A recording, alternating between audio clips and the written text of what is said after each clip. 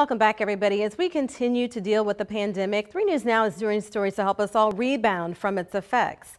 Local restaurants continue to suffer. You can help, though, by ordering takeout on this Takeout Tuesday.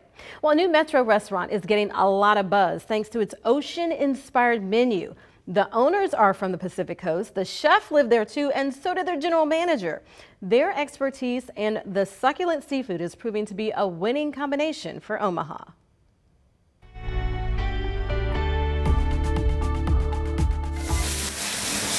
Things are heating up in the kitchen at Pacific Eating House.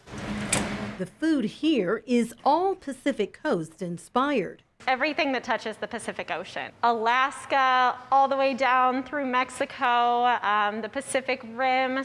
General Manager Brittany Love takes pride in their fresh seafood.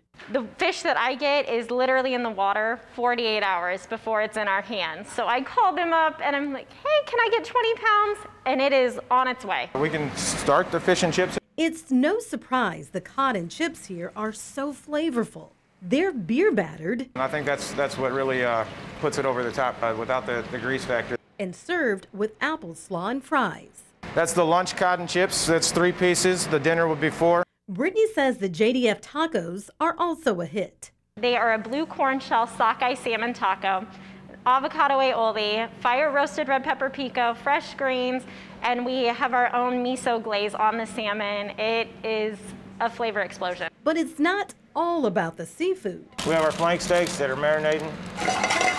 Chef Patrick McCracken shows us how he makes one of the most ordered meals on the menu. It's not similar to a lot of other steaks you get anywhere else. He doesn't rush this. Once the steak's grilled just right, how's it looking? Very good, very good. It's sliced. It's a good mid-rare there in the middle. Prepped. So then we'll top that with a little pistachio, some crispy shallots, and then just some fresh herbs. And ready to serve. It comes with white jasmine rice, fresh green beans, and a spicy jaew sauce. That is the Crying Tiger. They have this on Want It Again? Absolutely.